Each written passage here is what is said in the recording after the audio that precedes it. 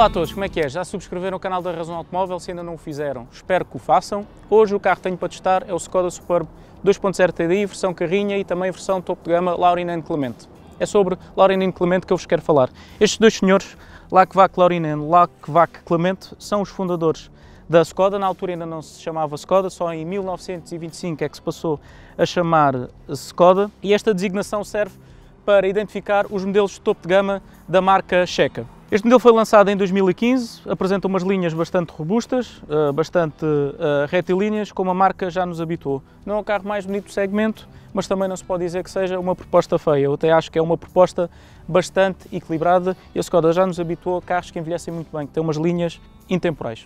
Agora que já conhecemos a frente, vamos conhecer a traseira. Na traseira, mais do mesmo. Não temos linhas que olhamos e dizemos uau, é a carrinha mais linda do segmento, mas temos linhas que são consensuais e que ninguém pode dizer que são desagradáveis. Linhas bastante retas, que se estendem por toda a carroçaria e que vêm até aqui à traseira. E neste vídeo vou levar mais tempo na traseira da carrinha por um motivo, é este. Vou a Já abriu? Eu vou falar um bocadinho mais afastado porque se eu falar aqui perto, isto faz eco. São 660 litros de capacidade, uma mala gigantesca, quase dá para fazer um baile de finalistas aqui dentro. Há também outras soluções muito interessantes, são as soluções que a Skoda apelida de Simply Clever. É um bocadinho, uh, Simply Clever, mas é verdade, são, são verdadeiramente geniais e não percebemos porque é que há outra, não há outras marcas a fazer o mesmo. A luz de presença do porta-malas é também uma lanterna. Uma lanterna hein? Olha, saindo uma alentejanice. Uma lanterna, não há como fugir às minhas raízes. Já que estou aqui na traseira, vou-vos também mostrar outra solução simples e clever que todos os Skodas da atualidade têm.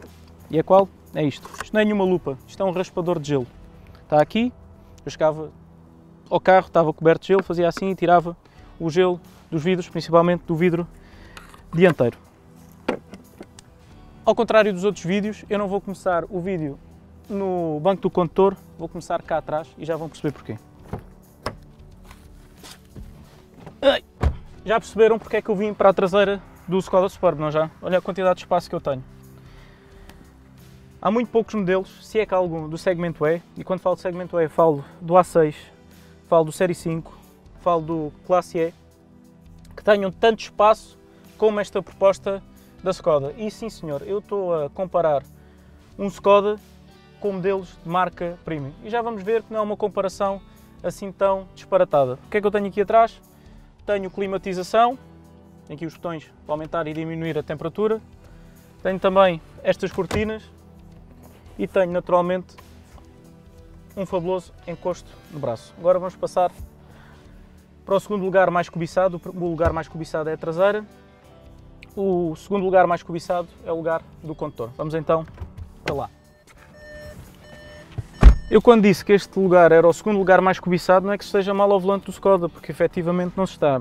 E sejamos francos, é impossível estar-se mal ao volante de um carro que custa 50 mil euros, é a versão mais equipada com todos os molhos, motor de 190 cavalos, já vamos ver como é que se comporta.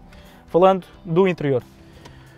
O volante tem regulações que nunca mais acabam e é praticamente impossível não encontrarmos uma posição de condução que se adequa à nossa estatura. O banco tem regulação eletrónica. Falando aqui desta, desta parte, temos o sistema de infotainment bastante bom, com os bons gráficos, com várias funcionalidades, Smart Link, rádio, mídia, navegação, Media Command, onde podemos tirar uma aplicação para o nosso tablet ou para o nosso smartphone e controlar algumas das funcionalidades que aqui estão no nosso smartphone. Temos também um menu onde é possível ver o estado do veículo, a indicação do controle dos pneus, os consumos, etc. E temos também um submenu que neste uh, Lauren Inclement é de série, que é o chassi adaptativo. O chassi adaptativo nós conseguimos regular a, a suspensão mais dura para uma condução mais esportiva ou mais uh, menos firme para uma condução mais confortável e também o parâmetro, uh, o, o, parâmetro de resposta do motor, da caixa, enfim, todos os parâmetros que importam para uh, a condução. Temos também um sistema de climatização uh, trizona, cá atrás, como já vos tinha mostrado, e aqui bisona para para os ocupantes do banco dianteiro. Temos também o sistema AirCare. O que é que é o sistema AirCare? É um sistema que faz a recirculação do ar no habitáculo e que filtra sistematicamente o, o, ar no habitáculo para termos um ar digno de ser respirado. Nós estamos em Monsanto, o ar já é bastante bom. Ok, feita esta apresentação, vamos então passar para a estrada e ver o que vale o Skoda Superb em estrada.